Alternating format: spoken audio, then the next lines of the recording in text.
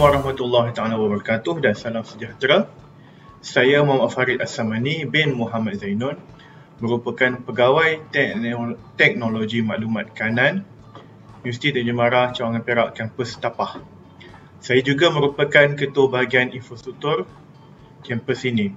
So hari ini saya akan sharekan sedikit mengenai bahagian infrastruktur dan perkhidmatan yang disediakan oleh kami kepada semua warga UiTM. Pertama sekali saya ingin mengucapkan selamat datang dan tahniah kepada semua pelajar uh, baru ke UiTM Cawangan Perak Kampus Tapah. Ini merupakan pengalaman pertama untuk semua pelajar lah sebab apa ni suasana belajar di universiti dengan belajar di bangku sekolah berbeza. So ini ada merupakan satu pengalaman baru pada semua pelajar. Uh, saya juga ingin kongsikan di mana semasa PPKP ni PKPP ni so pelajar-pelajar akan merasa suasana belajar secara maya iaitu open distance learning atau ODL so di mana pelajar akan belajar di luar daripada kebiasaan iaitu biasanya kita akan duduk dekat dalam bilik kuliah ataupun dekat dalam manual komputer tapi kita belajar dengan secara jarak jauh melalui uh, Google Meet and so on. So ini juga merupakan pengalaman baru lah pada semua pelajar untuk merasai suasana pelajaran yang berbeza. Okay, so awal-awal ni saya ingin mendoakan kejayaan kepada semua pelajar supaya mendapat kejayaan yang cemerlang sepanjang pengajian dan dapat menamatkan pengajian pada masa yang ditetapkan. Amin insyaAllah. So sedikit pengenalan pada bahagian infrastruktur. Pewujudan bahagian infrastruktur pada asalnya adalah untuk menyediakan prasarana dan keperluan perkomputeran di universiti. Sejak itu, bahagian infrastruktur telah berkembang dan diperluaskan skop perkhidmatan sokongannya. Okay, so sebelum ni sebenarnya uh, bahagian infrastruktur ni telah digunakan pelbagai nama lah. Bermula dengan unit IT, kemudian tukar kepada pusat sistem maklumat bersepadu, uh, kemudian ditukar kepada nama bahagian teknologi maklumat. So yang terkini nama kami adalah bahagian infrastruktur. So kami dah makin berkembang So skop tu dah bertambah so nama nama pun akan diubah. So bahagian ini diketuai oleh saya sendiri sebagai apa ni ketua bahagian dan kami disokong oleh diperkuatkan lagi dengan 10 orang penolong pegawai dan 2 orang juruteknik komputer. Ini adalah carta organisasi. Uh, atas sekali adalah rektor iaitu Surveyor Dr. Mat Yusof Hamid. Uh, kemudian saya punya ketua sendiri iaitu Dr. Imran iaitu penolong rektor untuk kampus TAPA dan di bawah saya ada empat unit iaitu unit sistem maklumat, unit infrastruktur ICT, unit operasi ICT dan unit pentadbiran ICT. Dan di bawah saya uh, adalah 10 orang penolong pegawai dan 2 orang juruteknik komputer. Lokasi pejabat kami sangat mudah kalau you masuk di entrance uh, campus Tapa ni, you akan terus masuk ke dalam sehingga jumpa roundabout and depan roundabout tu akan ada uh, tiang bendera. Uh, dekat tiang bendera tu, belakang tu adalah kompleks pentadbiran. Di situ pejabat kami. Jadi pejabat uh, kompleks pentadbiran ni banyak lagi lah. Macam ada pejabat pentadbiran, ada pejabat benari, ada HEA, lepas tu ada bilik-bilik uh, ketua pusat pengajian pengajian semua pejabat dia orang kat situ juga. Maknanya pejabat fakulti ada kat situ juga. Uh, so kami punya pejabat ni tingkat atas sekali, aras 3 uh, kompleks terbiran. Dekat situ kami berkongsi pejabat dengan uh, unit hal ehwal Islam. So dekat situ mana maknanya kalau you nak berurusan dengan pejabat infrastruktur, uh, so pergi ke aras 3 lah. Berikut adalah nombor telefon dan waktu operasi pejabat. So, jika ada sebarang uh, pertanyaan ataupun ada apa-apa informasi lanjut yang yang ingin diketahui, you boleh hubungi 0540670062. Saya ulangi 0540670062. Okey, sebelum saya terlupa, ini video ni adalah rakaman, bukan rakaman yang dibuatkan live. So jika jika ada sebarang persoalan saya tak dapat jawab lah sebab benda ni adalah rakaman.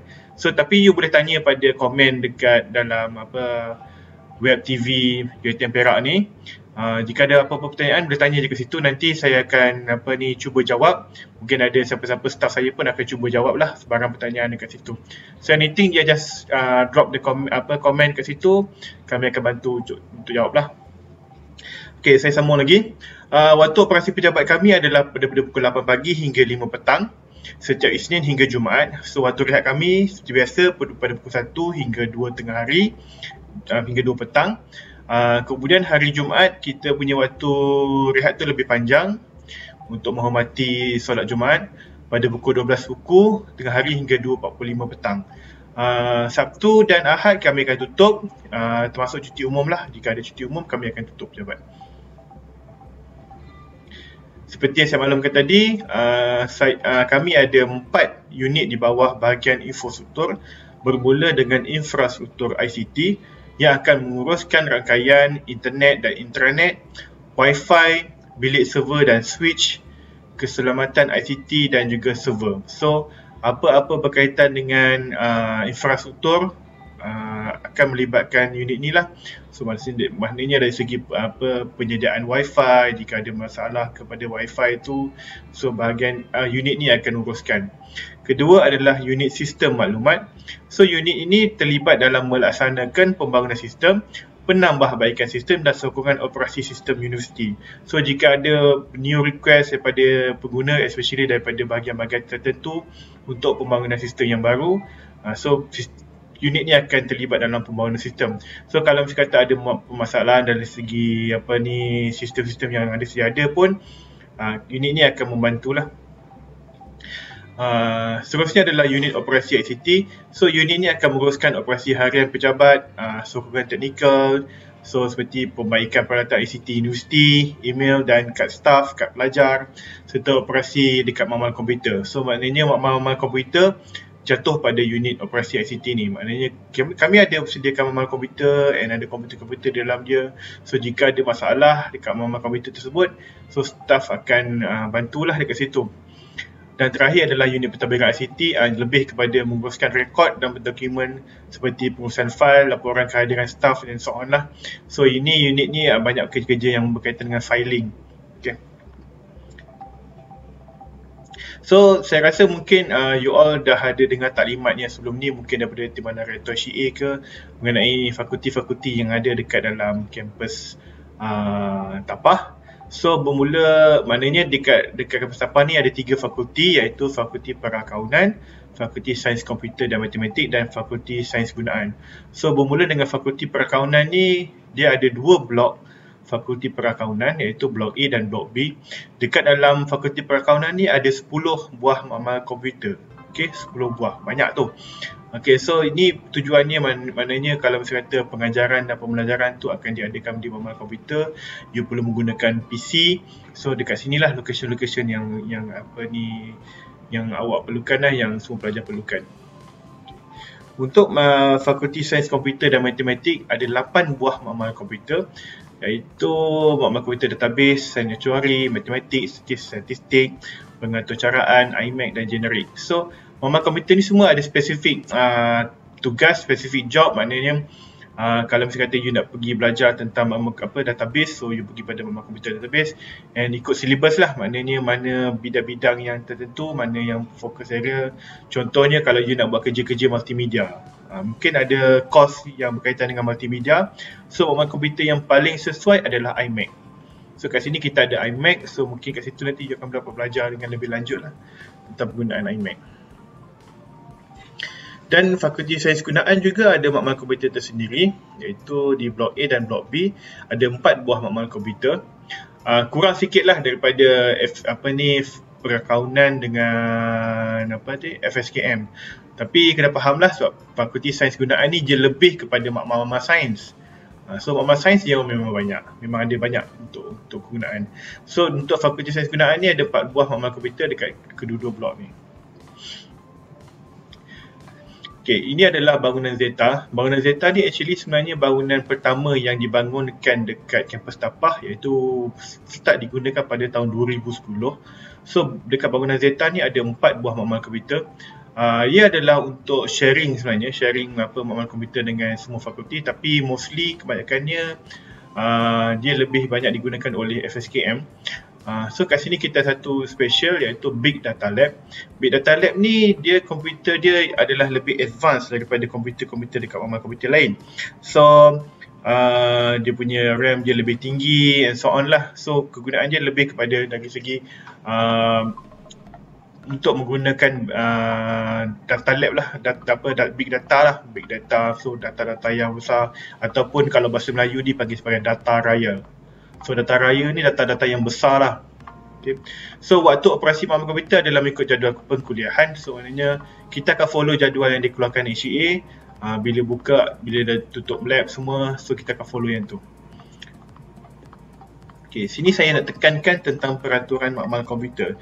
Ini sangat penting kepada pelajar, terutama pelajar, pelajar baru supaya you dapat menggunakan makmal komputer tu dengan baik.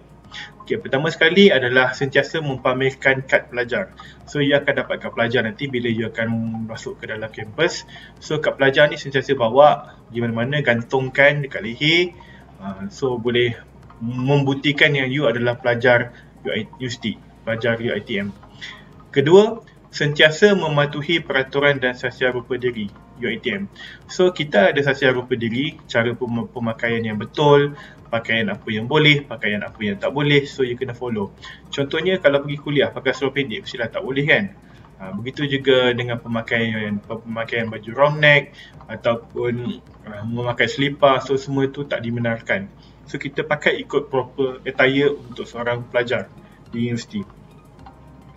Ketiga, menggunakan kemudahan yang disediakan bagi tujuan akademik dan aktiviti yang dibenarkan.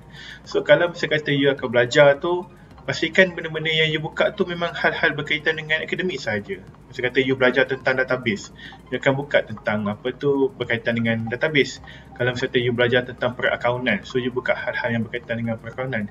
Maknanya software-software atau perisian yang diinstal dekat dalam komputer tu memang tujuan untuk PNP, pengajaran dan pembelajaran saja. So tak jangan buat benda-benda yang luar daripada tujuan akademik. Keempat, tidak menambah, memadam atau meminda mana-mana perisian atau konfigurasi komputer. So kalau mesti kata PC tu dah disediakan macam tu, kekalkan macam tu. Contohnya uh, wallpaper, jangan tukar wallpaper, jangan ubah apa-apa setting dalam komputer tu, jangan buang software dalam tu. Sebab itu semua berbayar. Kalau you buang software tu, menunjukkan pihak kami lah perlu install balik. Sebab PC-PC, komputer-komputer dekat mamal komputer semua adalah sharing. You berkongsi dengan kawan-kawan you, so you kena hormat. Maknanya PC tu bukan hak milik siapa-siapa, dia adalah hak milik UiTM, so kita kena hormat penggunaan ke situ tidak mengubah susun atur perabot makmal. You tarik meja, ubah kedudukan meja tu pun tak dibenarkan sebab komputer tu bersambung dengan kabel power, dengan kabel internet. So kalau ubah tu mungkin menyebabkan terputus ke. So kita tak nak kerja jam tu berlaku lah. So kalau misalnya kata you start kuliah, you habis kuliah, make sure uh, keyboard, mouse semua dalam keadaan susun, kerusi disusunkan semula dalam keadaan baik. So memudahkan orang lain nanti bila orang next nak guna benda dah tersedia dah untuk you. Okay, menjaga keselamatan barangan peribadi terutamanya barangan berharga. Handphone kena jaga, make sure jangan tertinggal, jangan tercicir. Ha, kadang-kadang tu tertinggal handphone dekat dalam. Lepas tu yang selalu benda yang tertinggal yang kami perasan adalah pen drive. Pen drive selalu tertinggal. So pastikan lepas habis kerja, lepas save kerja tu dalam pen drive, ambil pen drive simpan balik. Okay, jangan tertinggal. Sebab kadang tu pendrive tak, tak ada nama. Kita tak tahu siapa hak milik dia. Uh, so kadang menyukarkan kita lah kalau kita nak trace balik siapa pemilik pendrive tersebut. Okay, so lagi jangan main games. Of course, jangan main game. Okay, saya pernah eh tangkap pelajar sebab dia main game dalam dalam apa dalam mamal komputer. Make sure you tak tak apa ni tak main game lah dekat dalam mamal komputer. Jangan ubah setting seperti saya maklumkan tadi. Pastikan bersih. Uh, jangan ada kesan-kesan kotor ke apa ke uh, nak logout ataupun nak shutdown pastikan you shutdown properly jangan biar jangan force shutdown nanti bila force shutdown ni akan menyebabkan komputer akan cepat rosak Okay, browsing pastikan browsing benda-benda yang berkaitan dengan akademik jangan buka benda-benda yang bukan-bukan yang tak ada kaitan makan dan minum dalam dalam makmal komputer tidak dibenarkan ya Okay, so kalau misalnya kata nak minum sila keluar daripada ruang kereta minum dekat luar. Kita tak nak kalau mesti kata you tengah minum kawan you terlanggar you air tu tumpah kena pada keyboard, keyboard rosak. So nanti menyukarkan kita, menyukarkan kita lah mungkin you kena kena charge sebab merosakkan peralatan you ATM. Okay, pastikan sentiasa safe kerja. save save mesti kata ambil lah 10 minit sekali 15 minit sekali save kerja you. Sebab software ni kadang-kadang ada software yang uh, tak ada auto save ada software yang ada auto save so kalau yang tak ada auto save ni kita takut nanti masa you tengah buat kerja tiba-tiba blackout. So you tak sempat nak save data you hilang. So kita tak nak jadi macam itulah. So pastikan sentiasa save uh, kerja-kerja yang you buat ini saya tunjuk sedikit gejala vandalisme di makmal komputer. So kalau you tengok gambar tu betul-betul dekat keyboard tu, actually sebenarnya keyboard tu ada banyak kesan contingan oleh uh, pengguna. So macam-macam dia letak dia lukis gambar lah, dia lukis arrow, dia lukis volume, so macam-macam benda. So kita tak nak benda macam ni berlaku. Saya pernah jumpa ada keyboard apa ni pengguna buat dia tukar ni button tu cabut button dia tukar ni button tu. Sebab button tu memang kita dah tahu kedudukannya macam mana. Sebab ini adalah keyboard QWERTY Q-W-E-R-T-Y so QWERTY punya keyboard sesunanya macam tu. So kalau kata kita, dia ubah button kan menyukarkan kita nak tahu kedudukan dia huruf apa huruf apa huruf apa kan. Ha. dekat yang gambar monitor tu pun ada kesan contengan. Maknanya ada kesan dia orang uh, pengguna tu dia conteng pada calakan pada skrin tu lah. So kita tak nak macam ni. So kena hormat penggunaan. Uh, so kalau mesti kata ada tertangkap tahu yang you buat, kata tidak akan dikenakan kepada pelajar. Ini adalah selain de, apa perkhidmatan yang kita sediakan iaitu seperti yang saya terangkan tadi, kita ada mobile komputer, kita ada big data lab dan kita ada smart classroom. So smart classroom ni dekat uh, bangunan uh, fasa 1. So dekat dalam ni uh, dia lebih canggih lah daripada bilik kuliah yang biasa.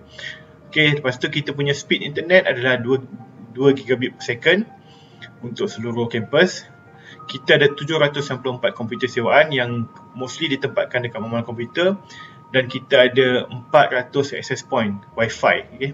access point ni adalah wifi so the whole uh, campus tu insyaallah akan dapat capaian wifi okay. ini adalah saya terangkan balik perkhidmatan wifi di kampus So uh, kalau you nak masuk kepada wifi, you kena masuk uh, gunakan student portal ID dan password adalah kata dalam student portal ID. So 90% capaian internet di seluruh kampus dah ada ya. Yang 10% yang belum capai tu kira dia adalah grey area mana kawasan-kawasan yang hujung bangunan ataupun tepi-tepi tu mungkin tak berapa dapat wifi. Tapi kalau misalnya kata you duduk dalam bilik kuliah, you duduk dalam mamal komputer, akan dapat wifi sepenuhnya. So termasuk juga kat college. So kalau you nak tahu lebih lanjut, um, misalnya kata mungkin you nak tahu setting untuk Android ataupun you nak tahu setting untuk iPhone, macam mana untuk menggunakan wifi ni. So you boleh pergi pada wifi.uitm.edu.my. So saya ulang, wifi.uitm.edu.my So you boleh buka situ, you boleh tahu lebih lanjut lah mengenai penggunaan wifi dekat kampus So kalau you ada wifi, of course you boleh browsing Biasalah students, uh, saya pun sendiri ada juga Instagram, Facebook, YouTube uh, WhatsApp, Twitter. So kita boleh browsing dengan dengan ni lah. Maknanya apps apa-apa lah. Uh, Okay so maknanya kadang tu pelajar dia ada laptop sendiri, dia ada handphone. Kadang-kadang handphone sampai dua. So you boleh gunakan perkhidmatan wifi yang ada di kampus. Selain itu kita ada juga kad pelajar. Okay, kad pelajar adalah satu kad untuk membuktikan yang you adalah pelajar UiTM. So pastikan you kasi rasa uh, mempamerkan kad pelajar. So uh, untuk semester ni adalah sedikit berlainan iaitu pelajar perlu upload sendiri gambar uh, sebab sekarang ni kita di musim-musim uh, pandemik ni so biasanya pelajar akan datang ke pejabat kami untuk ambil gambar tapi sebabkan musim pandemik ni kita tambah baik sistem yang sedia ada kita benarkan pelajar untuk upload gambar mereka sendiri ke dalam sistem Uh, dan apa ni gambar tersebut akan digunakan sebagai gambar gambar utama untuk kami cetak kad pelajar nanti. So uh, buat masa ni yang apa ni sistem untuk upload gambar tu dah tutup pada 30 September. Tapi sistem tu akan dibuka semula sebab um, kami dapat dapat maklum ada pelajar yang masih belum lagi upload gambar belum sempat nak upload gambar so 8 Oktober nanti okey 8 Oktober nanti apa sistem tu akan dibuka semula untuk pelajar upload gambar yang yang ni lah yang barulah okey mana mana pelajar yang dah upload gambar tu uh, kekalkan. Cuma ini adalah dibuka untuk pelajar yang belum upload gambar lagi okey okey jika kad hilang okey jika kad hilang secas sebanyak RM50 perlu bayar di pejabat bendahari okey sebanyak RM50 perlu bayar di pejabat bendahari Uh, so resit bayaran tu nanti bawa ke pejabat kami untuk kami cetak kad yang baru. Okey pastikan you jaga kad tu dengan baik jangan bagi hilang sebab sangat penting ya bila you nak apa tu kad hilang ni sayang RM50 tu kalau you nak bayar kan. So pastikan kad tu dalam keadaan baik disimpan dengan baik uh, digantung tu kat leher jangan tercicir. Okey kalau misalnya katalah kad you tercicir yang you pasti dekat kad tu tercicir dekat dalam kampus Okay, so mungkin you boleh pergi ke, pejabat, ke pejabat polis bantuan ataupun mungkin pada CP. Biasanya kad-kad yang hilang ni bila diorang jumpa, diorang akan hantar ke situ lah. Hantar ke CP ataupun pejabat polis bantuan. So mungkin you boleh tengok kat situ, uh, mungkin kad you tu ada je kat, kat, kat, kat pejabat mereka lah untuk untuk ambil balik. Okay. So kat situ kalau misalnya jumpa balik, of course lah dapat jimatkan RM50 kan. Okey, untuk sistem pelajar terdapat pelbagai sistem untuk kegunaan pelajar. Pertama sekali adalah eHCP system. So eHCP ni banyak sebenarnya. Dalam tu ada modul-modul lain seperti e-college and so on lah. Island portal, uh, e-academic system. Uh, ini untuk you boleh tengok result je ke apa-apalah yang berkaitan dengan akademik. Uh, termasuk juga Find Portal. Find Portal ni adalah portal kewangan untuk para pelajar. Okey, semua pelajar tertakluk pada dasar ICT, dasar keselamatan. Bukan saja pelajar lah, maknanya semua warga UiTM adalah tertakluk pada dasar-dasar yang yang dipaparkan lah. Uh, pertama sekali adalah dasar ICT, lepas tu dasar keselamatan ICT Universiti, garis panduan mampu dan semua perkeliling timbalan naik jasila pembangunan. Termasuk juga perkeliling-perkeliling yang ada dikeluarkan oleh naik jasila and apa uh, dan apa-apa yang perkeliling yang berkaitan dengan akademik ataupun berkaitan dengan ICT yang akan dikeluarkan dari semasa ke semasa. So, kalau nak dapatkan maklumat lanjut tentang perkeliling yang ada ataupun dasar ICT boleh refer pada laman web yang dipaparkan lah ppii.uitm.edu.my ppii.uitm.edu.my Okay, sebenarnya saya nak sharekan tentang uh, aduan ICT. Okay, bagaimana untuk you membuat aduan sebarang perkara yang berkaitan dengan ICT. So, you boleh pergi pada www.units.uitm.edu.my Okay, so apa-apa aduan ICT berkaitan dengan makmal komputer dan sistem universiti contohnya student portal ataupun mungkin uh, island. So you boleh pergi pada units untuk membuat aduan cara dia mudah kalau you masuk pada units ni nanti. You perlu masukkan uh, pertama sekali you pilih pada user user type lah. User type tu you pilih pada students. Okay students. Lepas tu you masukkan nombor pelajar. Bila masukkan nombor pelajar tu automatic detail you akan keluar. Nama campus fakulti dan apa tu uh, apa ni alternative email you lah. Okay lepas tu masukkan handphone number kat sini masukkan handphone number awak kat sini. Dan kemudian pilih uh, report dekat bawah dia. Bila you scroll ke bawah you akan pilih branch you tapah uh, pejabat college alpha bangunan alpha 1 lepas tu pilih kategori apa? Mengenai sistem CP ataupun uh, e-college. Uh, so apa details dia? Kalau misalnya kata you ada attachment you boleh masukkan attachment dan tekan butang submit Okey. Seterusnya saya nak terangkan juga tentang satu lagi aduan iaitu aduan fasiliti. Aduan fasiliti ni saya nak fokus hanya pada wifi saja. Uh, so aduan fasiliti ni banyak sebenarnya dia besar skop dia. Dia boleh pergi pada mechanical, dia boleh pergi pada kerja-kerja awam ataupun kerja-kerja electrical. So saya nak pergi ni hanya pada wifi saja sebab sebarang aduan kerosakan wifi tak dapat internet contohnya di kolej-kolej kediaman atau kawasan akademik di blok-blok fasa fasa 2 saja. So kena go through this one. Okay, bukan yang tadi ya, bukan pergi pada aduan ICT tadi. So dia kena pergi pada aduan facility. Kenapa kena buat macam tu? Sebab Wi-Fi UiTM dekat fasa 2, dekat kampus PFI adalah di bawah tanggungjawab konsesi iaitu syarikat yang uh, menyelenggara apa ni ada apa ni kerja-kerja awam ICT ataupun apa ni electrical dekat campus uh, PFI ni lah. Okay. Sini saya sharekan sikit macam mana cara you nak uh, buat aduan. Okay. Ini adalah uh, laman web Tapah. You boleh pergi pada tapah.uitm.edu.my So laman web ni you boleh buka and then you boleh dapatkan apa-apa info. So semua info ada dekat dalam ni insyaAllah. So maknanya you tahu daripada segi office, you nak tahu pasal maklumat akademik, you nak tahu directory staff, kalau kata you nak tahu expertise, uh, expertise you punya pensyarah ke, and so on lah. So bila pergi bawah ni, ada maklumat pasal, pasal upcoming event ataupun announcement universiti, you boleh tengok kalau ada apa-apa announcement. So dekat bawah ni, you tengok pada sini adalah e-aduan facility fasa 2. So bawah student e-application, ada e-aduan facility fasa 2 PFI. So klik ke sini. Masuk satu apa laman web.